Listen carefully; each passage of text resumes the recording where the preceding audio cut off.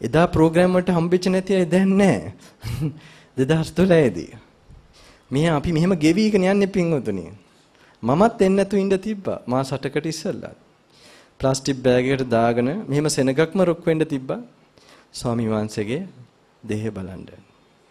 ඒත් මම මට හිතන විදියට මම පින් දෙනවා අපිට හැබිච්ච සත්පුරුෂයෝ හින්දා මං හිතාගත්තෙත් නැති ගමනක් මට යන්න ලැබුණා. ඒ කියන්නේ මගේ හිතේ හැටියට හීනෙකවත් හිතන්නේ නැති තපස් මේ යුගයේ කරන්න අවස්ථාවල් ඇති වුණා. හැබැයි මට එදත් මේ මොහොතේ හුස්ම මට රඳාගෙන ඉන්න බැරි වෙයි කියලා ලෑස්ති වෙනකොට මෙහෙම බලාගෙන ඉන්න එක මේක රූප වේදනා කියලා හිත හදාගෙන මෙහෙම බලාගෙන ඉන්න වෙලාවේ දෙවනි සිතුවිල්ල ආවේ මට මිනිසුන්ට යහමින් දෙන්න බැරි වුණා කියලා. ඉතින් ආයි පාරක් මට එහෙම වුණොත් මම දැන් දීලා තියෙනවා. ඔය හම්බුණා දැන් මේ පාර. මොකද මගෙත් ඇති මොනවා හරි කර්ම සම්බන්ධයක් මේ පින්වතුන්ලත් එක්ක මෙහෙම හමුවීමක් වෙන්න මෙහෙම ධර්මයෙන් මගෙන් ගන්න මට දෙන්න. ඉතින් මම එක දන්නවා. අපි ඉස්සර ආත්මලත් මම මේ විදිහට මේ විදිහට දීලා ඇති. ඒකයි මේ විදිහට මේක මේ හමුවීම පෙරම් පුරලා හමු වෙන ගමනක් කියලා තමයි මට පේන්නේ. තව මේම ජීවත් වෙලා හිටියොත් අනිවාර්යයෙන්ම. හැබැයි පෙරම් පුරනවා කෙසේ වෙතත් අඳුර ගන්න ඕනේ අපි දැන් ඉන්න තත්ත්වය. මොකද මගෙන් ඔය බුද්ධ කයාව ඉන්නකොට මගේ මොකද එළියෙන් බලනකොට එක එක අයට එක එකව හිතෙනවා. අර මහායාන කට්ටිය පෙරම් පුරන අය මොකද බෝධිසත්ව මේකෙන් ඒවා කරන අය වගේ පැත්තක් පේනවා. මෛත්‍රී කරුණාව. ස්වාමීන් වහන්සේ දිහා බලනකොට. තව පැත්තක් පේනවා අත අරගෙන යනවා රහතන් වහන්සේලා යන පැත්තක්. එහෙම ඒ පැත්තට. ඉතින් එක ඕක ඕක ගැටලුවක් තිබ්බ මෑනියෝ කෙනෙක් මගෙන් ඇහුවා. මොනවාද තායි මෑනියෝ කෙනෙක්. ස්වාමීන් ඔබ වහන්සේ මොන මාර්ගෙද වඩන්නේ මේ රහත් වෙන්නද වඩන්නේ නැත්නම් බුදු වෙන්නද කියලා. මට මේ මෑනියට දුන්න උත්තරේ තමයි මම වඩන්නේ මේ ඔළුව වතුරෙන් උඩ තියාගෙන ඉන්න මග කියලා. ඒතර ඔළුව කියන්නේ අපේ හිත. නෑ මම ඒ වෙලාවේ ඔච්චර හිතුවේ නෑ. හැබැයි මම පස්සේ බැලුවා මේ උදාහරණේ හරියටම වටිනවා. පස්සේ මට තේරුණා ඔළුව කියන්නේ හිත. වතුර කියන්නේ පංච නිවරණයන්. එතකොට ඒකෙන් උඩ තියාගන්න කියන්නේ ජීව ජීවත්ව ඉන්නවා මහරයට අඳුරක් දාලා. ඒක අස්සෙන් ඉඳලා අපි ඊට පස්සේ ඔළුවේ උඩ තියාගත්තම තමයි ඔළුව කපලා දාන්න පුළුවන් වෙන්නේ. ඔළුව කපලා දාන්න ඕනේ. ඒ කියන්නේ හිත කපලා දාන්න. හපනවා කියන්නේ විදර්ශනා කරන එක වෙන්න ඉඩ තියෙන එතකොටයි. වතුර අස්සේ තියෙද්දි ඔළුව කපන්න පුළුවන්ද? මොකද්ද වෙන්නේ? කියමුකෝ මේ කඩුවක් කියලා. ඒ කඩුව වතුරට කැපි මේ තැරවිගෙන මොකද ඔළුව කැපෙනකොට හරියට කැපෙන්නේ නැහැ. ඒ වගේ තමයි අපේ පංච නිවරණයන්ගෙන් හිත එක නිදිමතෙන් ප්‍රභාෂවර නැතුව ඉන්නකොට අපි මොන විදර්ශනාවක් කරත් මොන සූත්‍රයක් කියුවත් ඒක එච්චර වදින්නේ නැහැ පින්වතුනි. ඉතින් ඒකට ඒ ප්‍රභාෂවර කරන්න තමයි තව අපි අතනදී මොකද බොරුවක් එහෙම කිව්වම ඒක ප්‍රභාෂවර කරන්න උදව් වෙනවද නැද්ද? හ්ම්? ඒක උදව් වෙන්නේ පින්වතුනි. ප්‍රභාෂර කරන්නේ මේක අප්‍ර මම දන්නේ මගේ සිංහල අප්‍ර ප්‍රභාෂර කරන්න උදව් වෙන්නේ. ඒක අනිත් පැත්තට උදව් වෙන්නේ. ඒ වගේම එතන එතන විතරක් නෙමෙයි අපි ඒ කියන්නේ එදිනදා ජීවිතේ යනකොට අපි කේන්ති ගන්නකොට ඒ කියන්නේ වැඩ කටයුතු කරනකොට අපිට ඉරිටේට් වෙනකොට ඒ ඔක්කොම ප්‍රභාෂර භාවයෙන් තොර වෙනවා මනස. ඒ වගේ දුක් වෙලා ඉන්නකොට මම මොනවද මම පෙරදුනා මගේ ජීවිතේ මොනවා කරනවද මම? මේ කියන්නේ මට මගේ අනාගතයක් තියෙනවද? පින්වතුනි ඔහොම හිතන්න හිතන්න අනාගතයක් නෑ තමයි. තේරෙනවද?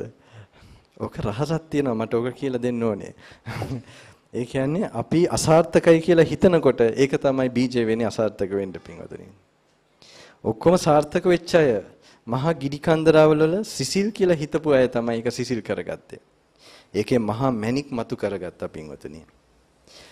මම දන්නවා මෙතනට විවිධ අය ඇවිල්ලා තිනවා.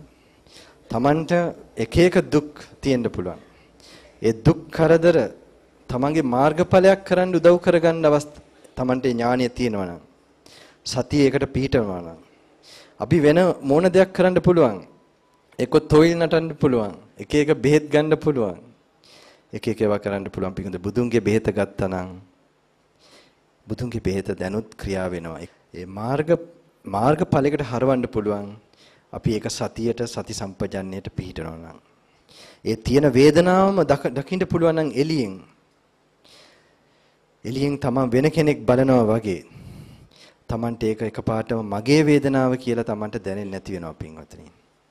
හැබැයි මේකට එන්න අනිවාර්යයෙන්ම තමන් කැඩෙන සීලය අඳුර ගන්න ඕනේ. මට හරි ඉන්ටරෙස්ටිං අත්දැකීම් ටිකක් වුණා මේ ඊයේ පෙරේද. මම වඩිනකොට මං හිටියා මොකද කියන්නේ ආරණ්‍යයක. ඒ වැඩ හිටියා පොඩ්ඩක්. හැබැයි මං කුටියෙන් පිට වෙලා එනකොට අමුතු අමුතු දර්ශන මට පේන. මගෙත් ඇති ඒ පොටෙන්ෂල් එක පෙන්වන්නේ මේ වලේ පෙන්නනවා වැටෙන්න තියෙන තැන. එකපාරටම මට පේනවා දැන් මහා කැලේ මේ කුටි තියනවා. මේක මගේ සබ්‍රක්‍මචාරින් වහන්සේලාට මටත් මේ කියා ගන්න බණක්. ඒ කියන්නේ මොකක්ද ඒකට කියන්නේ? කට්ටිය සක්මන් කර සක්මන් කරන කමාට සෙල්ෆෝන් එකක් අතේ තියාගෙන. පින්වතුනි කාම ලෝකයෙන් අයින් වෙන්න මේ සම්පූර්ණයෙන් බැහැර කරන්නයි මේ අපි මේ පන්සලකට හරි ආරණ්‍යයකට එන්නේ. කාම ලෝකෙට සම්බන්ධ වෙන්න නෙමෙයි. කාම ලෝකේ කියන්නේ මායාවේ පැත්ත. එතකොට අපි දැන් එහෙම ඊට පස්සේ මම දැන් මටත් දැන් අමතේ කියන්නේ. ඊට පස්සේ මම බැලුවා මොකද්ද වෙලා තියෙන්නේ මේ අවුරුදු 3 4කට මේ ලෝකේ. ඉතින් මෙහෙම තත්ත්වයක් ඇවිල්ලා තිනවා. පස්සේ මම වඩිනකොට එක ස්වාමීන් වහන්සේ කෙනෙක් එක එක ස්වාමීන් වහන්සේ හම්බෙන්න බලාගෙන හිටියා මාව. ඒකලම් ඔක්කොම තරුණ අය. බොහොම වීරිය කරන්න හිතාගෙන ඉන්නවා. හැබැයි කවුරුත් මේක කෙලිම මේකයි මේකයි කියලා කියන්න කෙනෙක් නැහැ. කොහොමනත් එක නමක් මගේ පස්සෙන් ඇවිල්ලා ඒ වෙලාවේ අනිත් අයත් උන්වහන්සේ මගෙන් ඇහුවා මම මේ අවුරුදු කීපයක් භාවනා කරනවා ස්වාමීන් වහන්සේ. හැබැයි මට හරියට ප්‍රතිඵලයක් එහෙම ප්‍රතිඵලයක් වගේ නැහැ කියලා. මම කිව්වා ඇත්තටම ආයස්මා මේ කරන එකම තමයි ප්‍රතිඵලය. ඔබ වහන්සේ මේ අද කී දෙනෙක්ද මෙහෙම වැඩි ඔහොම වැඩි ඉන්නේ? දහස් ගණන් මිනිස්සු සත්ව ලක්ෂ මිලියන් ගණන් අතර ඔබ වහන්සේලා මෙහෙම ඉන්නවා කියන්නේ මහා විශාල මේ යුගයත් එක්ක බලනකොට මහා විශාල දෙයක්. ඒ කියන්නේ මහා විශාල දෙයක්. ඔහොම ඉන්නවා කියන්නේම මාර්ගඵලයක් වගේ. මාර්ගඵලයක් නෙවෙයි මං කිව්වේ ඕකම තමයි Tamanට ඊට පස්සේ මං කිව්වා අද කාලේ මාර්ගඵලයක් වගේ සෙල්ෆෝන් එකක් අතේ නැත්තම් කියලා. නෑ පින්වතුනි ඒක දකින්න ක්‍රියාවෙන් අපි ක්‍රියාවෙන් තමයි දැනගන්න පුළුවන් අපි කොතනද ඉන්නේ කියලා. අපි ඉතින් මම ඊට පස්සේ මට හැබැයි හිතා ගන්න බෑ පොඩි සැකයක් වගේ ඇති වුණා හිතේ මම මම නිකම්ම ඇහුවා ඔබ වහන්සේ ගාව සෙල්ෆෝන් එකක් තියෙනවද මම කියලා.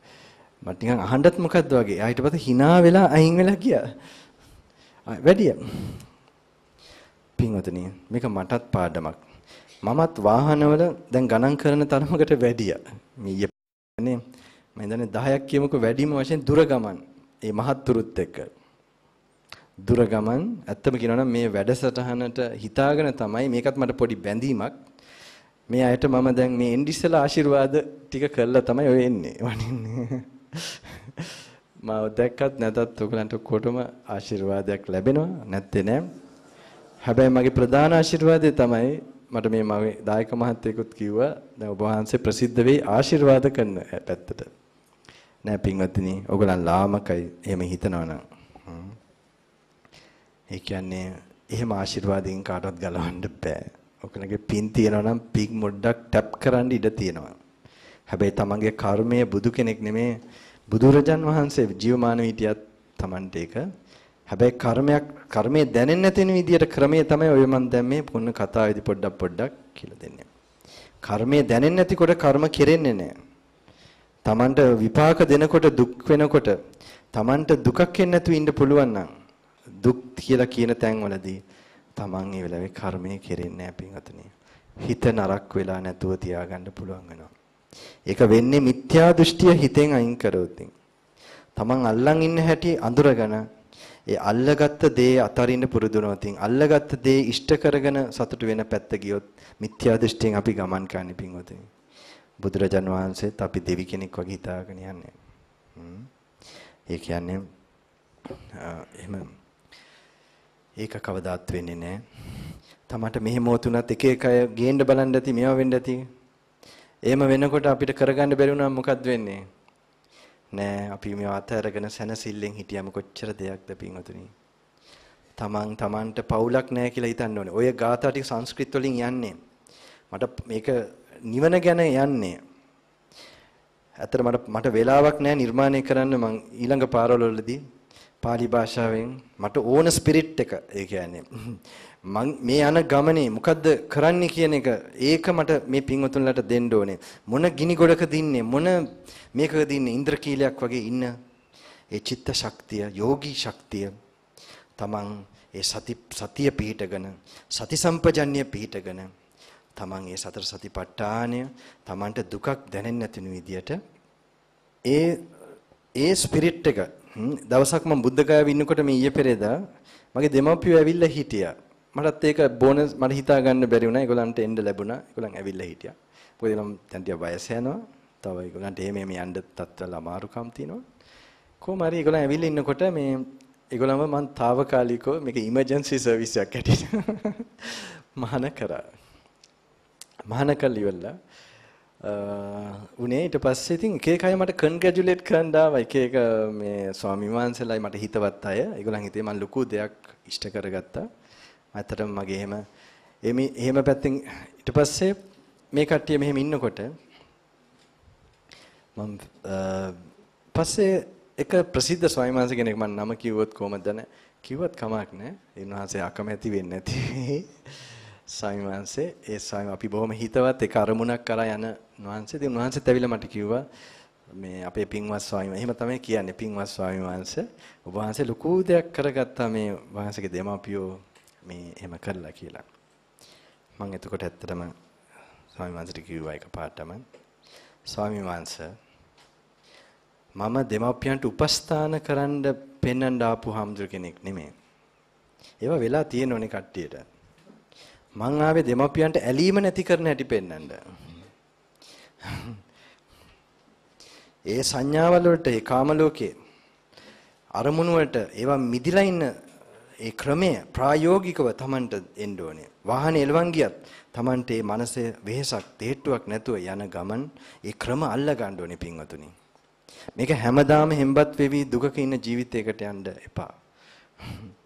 මේක එක chance එකක්. අපි කොහේ අපවත් වෙන්න වෙයිද දන්නේ නැහැ. එළවන ගමන් වෙන්න පුළුවන් ඔෆිස් එකක් අස්සේ වෙන්න පුළුවන්, ගෙවල් දොරවල් වෙන්න පුළුවන්. අපි එතකොට දැම්මම ලෑස්ති වෙන්න ඕනේ. අඩුම ගානේ මගේ අරමුණ ඉෂ්ට වෙනවා වෙනවා. මේ පින්වතුන්ලා පහලකට වැටෙන්නේ නැතුව මේ මනස පරිස්සම් කරන තත්ත්වයක් ඇති කරගත්තොත්